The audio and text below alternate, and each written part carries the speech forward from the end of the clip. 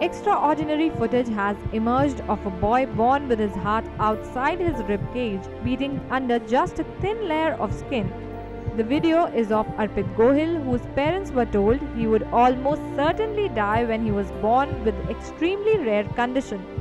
Now 18, the boy in the video is being hailed by doctors as a medical miracle who say a slight fall or bump could kill him instantly.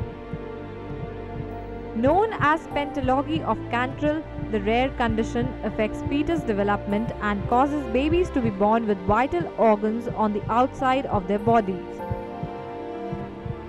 Arpit, who was born with the most serious form of the disorder known as ectopia cordis, of which there are just 165 known cases, is no ordinary man.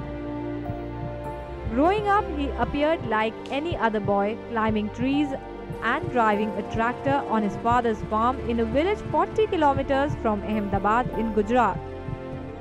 His father Vikram Bhai revealed, At times I felt he was actually healthier than normal boys of his age, so I never thought about having him operated on.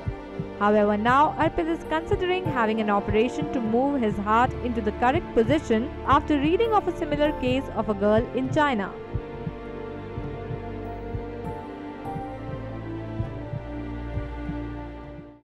Powered by NNIS.